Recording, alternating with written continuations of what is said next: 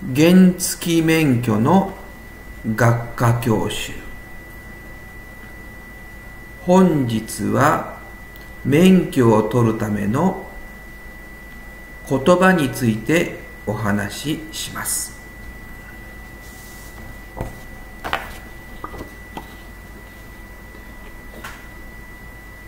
車という言葉。まあ車。自動車のことを言いますね。これ皆さん常識だと思います。で、えー、まず車の中に自動車があります。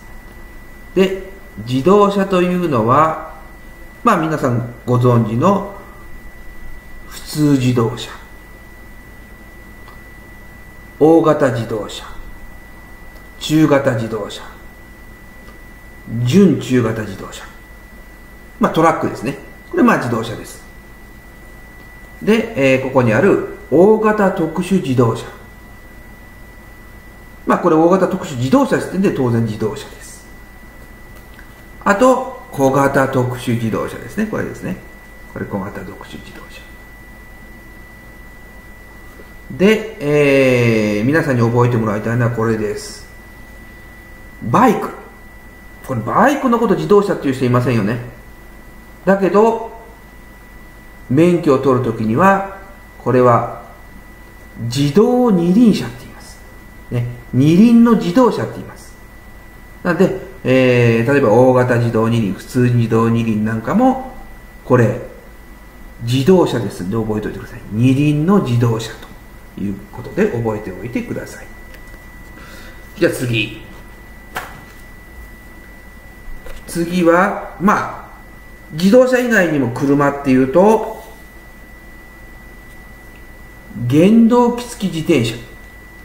これを皆さん覚えておいてもらいたいんですけども普通車原付きですよね。原付きのこと車って言いませんよね。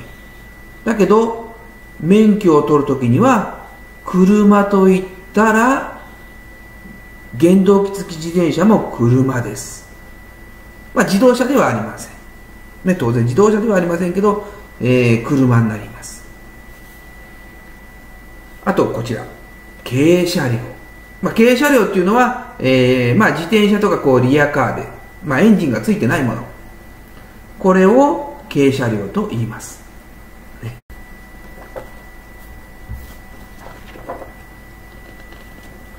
問題としては、どんな問題が出るかというと、例えば、自動車または原動機付き自転車を追い越してはならないといった場合はこの軽車両は追い越してもいいです。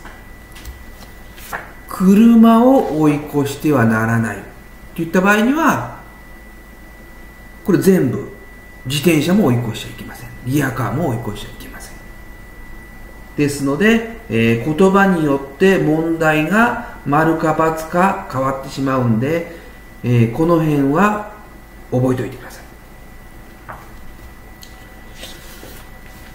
あともう一つ。車などという言葉があります。車など。これはどういうことかというと車先ほど言った車ですね。プラス路面電車。これを合わせて車などって言いますので、ね。えー、ですんでその辺を覚えておいてください。以上です。